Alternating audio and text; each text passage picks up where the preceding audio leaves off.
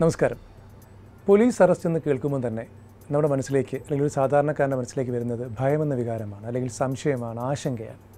പക്ഷേ നമ്മൾ മനസ്സിലാക്കുന്ന ഒരു കാര്യം ഈ അറസ്റ്റ് ചെയ്യപ്പെടുന്ന വ്യക്തിക്ക് നമ്മുടെ കോൺസ്റ്റിറ്റ്യൂഷൻ നമ്മുടെ ഭരണഘടന നമ്മുടെ നിയമമൊക്കെ ഒരുപാട് പരിഗണനയും ഒരുപാട് അവകാശങ്ങളും കൊടുത്തിട്ടുണ്ട്. ഇന്ന് ലെറ്റ് സ്റ്റോക്ക് ലീഗിൽ ചർച്ച ചെയ്യുന്നത് ഈ വിഷയത്തെക്കുറിച്ചാണ്.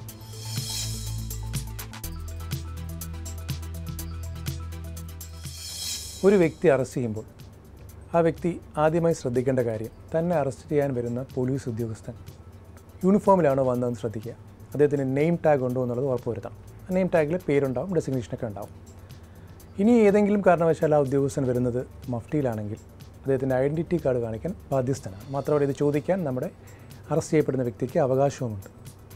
രണ്ടാമതായി നമ്മൾ വളരെ പ്രാധാന്യത്തോടെ ശ്രദ്ധിക്കേണ്ട ഒരു ഡോക്യുമെന്റ് രേഖ എന്ന് പറയുന്നത് അറസ്റ്റ് മെമ്മോയാണ് അല്ലെങ്കിൽ മെമ്മോ ഓഫ് അറസ്റ്റ് എന്ന് പറയും. ഈ മെമ്മോ അറസ്റ്റ് എന്ന് പറയുന്നത് ഒരു വ്യക്തിയെ നമ്മൾ അറസ്റ്റ് ചെയ്യുന്നു അല്ലെങ്കിൽ പോലീസ് പോലീസ് ഉദ്യോഗസ്ഥൻ അറസ്റ്റ് ചെയ്യുമ്പോൾ എവിടെ വെച്ചാണോ അറസ്റ്റ് ചെയ്തത് എന്നാണ് അറസ്റ്റ് ചെയ്തത് എത്ര മണിക്കാണ് അറസ്റ്റ് ചെയ്യുന്നത് കൃത്യമായിട്ട് ഈ ഡോക്യുമെന്റ് രേഖപ്പെടുത്തണം.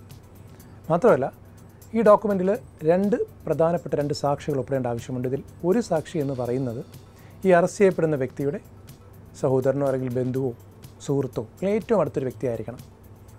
ഇനി അങ്ങനെ ഒരു വ്യക്തി ആ സ്ഥലത്ത് ഇല്ല എന്നുണ്ടെങ്കിൽ ആ സ്ഥലത്തെ ഏറ്റവും പ്രധാനിയായ ഒരു വ്യക്തിയായിരിക്കണം അത് ഒപ്പിടേണ്ടത്. മൂന്നാമതായി നമ്മൾ ശ്രദ്ധിക്കേണ്ട കാര്യം അറസ്റ്റ് ചെയ്യപ്പെടുന്ന വ്യക്തിയെ എത്രയും പെട്ടെന്ന് വൈദ്യ പരിശോധനയ്ക്ക് ഹാജരാക്കേണ്ടത് നിർബന്ധമാണ്. അതൊരു സർക്കാർ ആശുപത്രികളായിരിക്കണം വൈദ്യപരിശോധന നടത്തേണ്ടത്. ഒരു സർക്കാർ ഡോക്ടർ തന്നെയായിരിക്കണം പരിശോധിക്കേണ്ടത്. അതിനകത്ത് കൃത്യമായിട്ട് ആ വ്യക്തിക്ക് എന്തെങ്കിലും രോഗമുണ്ടോ അല്ലെങ്കിൽ എന്തെങ്കിലും ഓടി ചതവോ ഔഷധമോ ഉണ്ടോ എന്നുള്ളത് കൃത്യമായി രേഖപ്പെടുത്തണം എന്നുള്ളത് രേഖപ്പെടുത്തുക എന്നുള്ളത് നിയമം അനുശാസിക്കുന്നുണ്ട്. അടുത്തായി നമ്മൾ ശ്രദ്ധിക്കേണ്ട കാര്യം ഒരു വ്യക്തി അറസ്റ്റ് ചെയ്യപ്പെടുമ്പോൾ എത്ര മണിക്ക് അല്ലെങ്കിൽ എത്ര മണിക്കാണോ അറസ്റ്റ് ചെയ്ത് ആ മണിക്കൂറിൽ ഇരുപത്തിനാല് മണിക്കൂറിനുള്ളിൽ അല്ലെങ്കിൽ എത്ര ഏത് സമയത്താണ് അറസ്റ്റ് ചെയ്യുന്നുള്ളത് നമ്മൾ രേഖപ്പെടുത്തിയിട്ട് അതിന്റെ ഇരുപത്തിനാല് മണിക്കൂറിനുള്ളിൽ ആ വ്യക്തിയെ ആ പോലീസ് സ്റ്റേഷൻ പരിധിയിലുള്ള ഫസ്റ്റ് ക്ലാസ് മജിസ്ട്രേറ്റ് മുന്നിൽ ഹാജരാക്കേണ്ടത് നിയമം അനുശാസിക്കുന്നൊരു കാര്യമാണ്.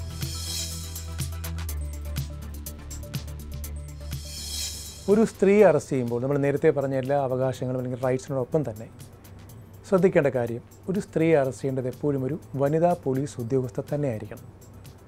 മാത്രമല്ല സൂര്യോദയത്തിന് മുമ്പോ സൂര്യ അസ്തമയത്തിന് ശേഷമോ ഒരു സ്ത്രീയെ അറസ്റ്റ് ചെയ്യാൻ പാടില്ല.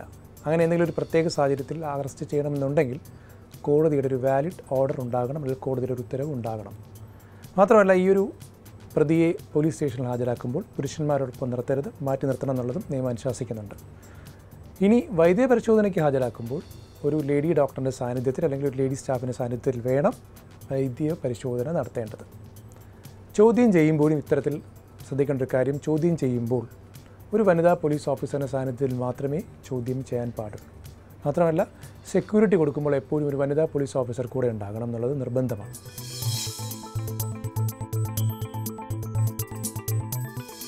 അറസ്റ്റ് ചെയ്യപ്പെടുമ്പോൾ തീർച്ചയായിട്ടും നിയമസഹായം തേടാൻ പ്രതിക്ക് അവകാശമുണ്ട്. മാത്രമല്ല തന്റെ വക്കീലിനെ വിളിക്കാൻ പ്രതിക്ക് പോലീസിനോട് ആവശ്യപ്പെടാം. വക്കീലുമായിട്ട് സംസാരിക്കാനുള്ള സൗകര്യം ചെയ്യാൻ പോലീസ് ഉത്തരവാദിത്തപ്പെട്ടവരാണ്. പോലീസ് ഇത് ചെയ്തു കൊടുക്കേണ്ടത് നിർബന്ധമാണ്. മാത്രമല്ല ചോദ്യം ചെയ്യുന്ന വേളയിൽ വക്കീലിന്റെ സാന്നിധ്യം അനിവാര്യമാണെന്ന് പ്രതിക്ക് തോന്നിയാൽ അതും പോലീസിനോട് ആവശ്യപ്പെടാം. അതും ചെയ്തു കൊടുക്കേണ്ട ഉത്തരവാദിത്തം പോലീസിനുണ്ട്. ഒരു വ്യക്തിയെ അറസ്റ്റ് ചെയ്ത് പോലീസ് സ്റ്റേഷനിലേക്ക് കൊണ്ടുവരുന്നു. അയാൾ ചെയ്ത കുറ്റത്തിന്റെ തോതനുസരിച്ച് അയാളുടെ മേൽ പോലീസ് വകുപ്പ് ചേർത്തുന്നു. അതൊരു പക്ഷേ ജാമ്യം ലഭിക്കുന്ന കുറ്റമായിരിക്കാം ജാമ്യം ലഭിക്കാത്ത കുറ്റമായിരിക്കാം. ജാമ്യം ലഭിക്കുന്നൊരു കുറ്റമാണ് പ്രതി ചെയ്തതെങ്കിൽ സ്റ്റേഷൻ ജാമ്യത്തിൽ അല്ലെങ്കിൽ രണ്ട് വ്യക്തികളുടെ ജാമ്യത്തിൽ ആ പ്രതിക്ക് സ്റ്റേഷനിൽ നിന്ന് പുറത്തിറങ്ങാം. പക്ഷേ ജാമ്യം ലഭിക്കാത്തൊരു കുറ്റമാണ് പ്രതി ചെയ്തതെങ്കിൽ പോലീസ് നടപടിക്രമം അനുസരിച്ച് ഇരുപത്തിനാല് മണിക്കൂറിനുള്ളിൽ പ്രതിയെ ആ പോലീസ് സ്റ്റേഷന്റെ അധികാര പരിധിയിലുള്ള ജുഡീഷ്യൽ ഫസ്റ്റ് ക്ലാസ് മജിസ്ട്രേറ്റ് മുന്നിൽ ഹാജരാക്കും. അവിടെ മജിസ്ട്രേറ്റിന്റെ ഡിസ്ക്രിപ്ഷനാണ് ജാമ്യം കൊടുക്കണോ വേണ്ടോ എന്നുള്ളത്. ഇനി ജാമ്യം കൊടുക്കാൻ പറ്റില്ലാത്ത ഒരു കേസാണെങ്കിൽ മജിസ്ട്രേറ്റ് ആ പ്രതിയെ റിമാൻഡ് ചെയ്യും. പതിനാല് ദിവസത്തേക്ക് റിമാൻഡ് ചെയ്യും. ഇവിടെ നമ്മൾ മനസ്സിലാക്കേണ്ട കാര്യം ഒരു പ്രതിയെ കസ്റ്റഡിയിലെടുത്ത് മജിസ്ട്രേറ്റിന് മുന്നിൽ ഹാജരാക്കുന്നത് വരെ പോലീസ് കസ്റ്റഡിയാണ്.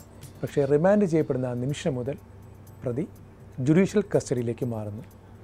ജുഡീഷ്യൽ കസ്റ്റഡി പ്രതിയെ സംബന്ധിച്ചിടത്തോളം വളരെ സേഫാണ്. കാരണം അദ്ദേഹം ഒരു വിചാരണ തടവുകാരനായിട്ട് സബ് ജയിലിലോ സെൻട്രൽ ജയിലിലോ കഴിയും. ഈ സമയത്ത് പോലീസുകാരന് തന്റെ കേസിന്റെ അന്വേഷണത്തിന്റെ ഭാഗമായിട്ട് പ്രതിയെ കാണാനോ സംസാരിക്കാനോ അല്ലെങ്കിൽ തെളിവെടുപ്പ് നടത്താനോ സാധ്യമല്ല. അങ്ങനെ വേണമെങ്കിൽ പോലീസ് ചെയ്യേണ്ടത് അദ്ദേഹം അല്ലെങ്കിൽ പോലീസ് ഓഫീസർ മജിസ്ട്രേറ്റ് കോടതിക്ക് മുമ്പാകെ ഒരു പെറ്റീഷനിട്ട് കസ്റ്റഡി ആപ്ലിക്കേഷൻ ഫയൽ ചെയ്ത് പ്രതിയെ കാണണമെന്ന് ആവശ്യപ്പെടുമ്പോൾ മജിസ്ട്രേറ്റിന്റെ പെർമിഷനോട് മാത്രമേ കാണാൻ സാധിക്കുകയുള്ളൂ. ഇവിടെയാണ് ജുഡീഷ്യൽ കസ്റ്റഡിയും പോലീസ് കസ്റ്റഡിയും തമ്മിലുള്ള പ്രധാനമായിട്ടുള്ള വ്യത്യാസം. ഒരു വ്യക്തിയെ പോലീസ് അറസ്റ്റ് ചെയ്യുന്നു. ആ വ്യക്തിയെ പോലീസ് സ്റ്റേഷനിൽ വെച്ച് പോലീസ് പീഡിപ്പിക്കുകയാണെന്ന് കരുതുക. തീർച്ചയായിട്ടും ആ വ്യക്തിക്ക് അല്ലെങ്കിൽ ആ പ്രതിക്ക് ആ പ്രതിയെ കോടതിയിൽ ഹാജരാക്കുമ്പോൾ തന്നെ പോലീസ് പീഡിപ്പിച്ചു എന്ന് കൃത്യമായിട്ട് മജിസ്ട്രേറ്റിനോട് പറയാൻ അവകാശമുണ്ട്. അത് രേഖപ്പെടുത്തേണ്ടത് അത് കേൾക്കേണ്ടത് മജിസ്ട്രേറ്റിന്റെ ഉത്തരവാദിത്തമാണ്. ഇനി നമ്മൾ ശ്രദ്ധിക്കേണ്ട വേറൊരു കാര്യം നമ്മുടെ ഒരു സുഹൃത്ത് അല്ലെങ്കിൽ നമ്മുടെ ഒരു ഫ്രണ്ടിനെ അല്ലെങ്കിൽ നമ്മുടെ ഒരു ബന്ധുവിനെ പോലീസ് അറസ്റ്റ് ചെയ്തു. മെമ്മോ ഓഫ് അറസ്റ്റ് ഒന്നും രേഖപ്പെടുത്തുന്നില്ല. അറസ്റ്റ് ചെയ്തെന്ന് വിവരം മാത്രമേ നമുക്കുള്ളൂ. ആ കൂട്ടുകാരൻ അല്ലെങ്കിൽ ആ ബന്ധു എവിടെയാണെന്ന് ആർക്കും ഒരു അറിവില്ല എന്ന് കരുതുക. ഈ അവസരത്തിൽ നമ്മൾ ചെയ്യേണ്ട വളരെ പ്രധാനപ്പെട്ട ഒരു കാര്യം ഉയർന്ന പോലീസ് ഉദ്യോഗസ്ഥർക്ക് പരാതി കൊടുക്കുക.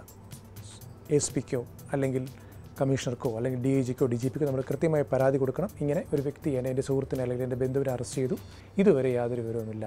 ഇത്തരത്തിലൊരു കത്ത് കിട്ടിയാൽ ഈ ഉയർന്ന പോലീസ് ഉദ്യോഗസ്ഥർക്ക് ഇതിനെക്കുറിച്ച് അന്വേഷിക്കേണ്ടതും കൃത്യമായ ഒരു ഉത്തരം കൊടുക്കേണ്ടതും ആവശ്യമാണ്. അറസ്റ്റുമായി ബന്ധപ്പെട്ട് നമ്മുടെ ഭരണഘടനയും നമ്മുടെ നിയമം അനുശാസിക്കുന്ന ഇത്തരം അവകാശങ്ങളെക്കുറിച്ച് നമ്മൾ ഓരോരുത്തരും ബോധവാന്മാരായിരിക്കേണ്ടത് അത്യാവശ്യമാണ്. കാരണം ഒരുപക്ഷെ നമുക്കോ അല്ലെങ്കിൽ നമ്മുടെ ഏറ്റവും അടുത്ത സുഹൃത്തിനോ നമ്മുടെ ബന്ധുവിനോ ഇങ്ങനെ ഒരു അവസരം വന്നാൽ ഇത്തരത്തിലുള്ള അവകാശങ്ങൾ നമുക്കുണ്ട് എന്നുള്ളത് കൊണ്ട് തന്നെ ആ വ്യക്തി അറസ്റ്റ് ചെയ്യപ്പെടുമ്പോൾ ഇതൊക്കെ കൃത്യമായിട്ട് പാലിക്കുന്നുണ്ടോ എന്ന് നോക്കാൻ ആ വ്യക്തിക്കും സാധിക്കും അല്ലെങ്കിൽ പുറത്തു നിൽക്കാൻ നമുക്ക് സാധിക്കും. ഇവിടെയാണ് ഈ അവകാശങ്ങളെക്കുറിച്ച് അറിയുമ്പോൾ പോലീസ് ഏതെങ്കിലും തരത്തിൽ നിയമലംഘനം നടത്തിയാൽ നമുക്കത് ചോദ്യം ചെയ്യാൻ അവകാശമുണ്ടായിരിക്കും. എന്തായാലും ഇതുപോലുള്ള നിയമസംബന്ധിയായ മറ്റു വിഷയമായി നമ്മൾ വീണ്ടും കാണും. നമസ്കാരം.